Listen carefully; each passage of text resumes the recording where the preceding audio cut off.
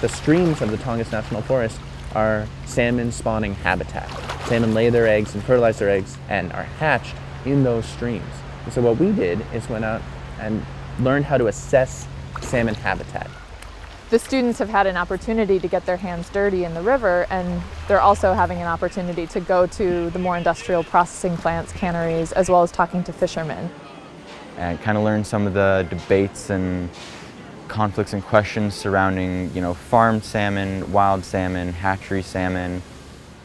We're mixing, you know, aquatic chemistry, fisheries biology, economics, the sociology of the fishing lifestyle.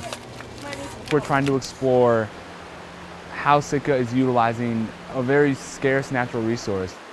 So I think they're really trying to focus on, okay, how do we make this a profitable industry so we can supply for the people in the community in terms of income and jobs, but also how do we ensure that we're not hurting our environment.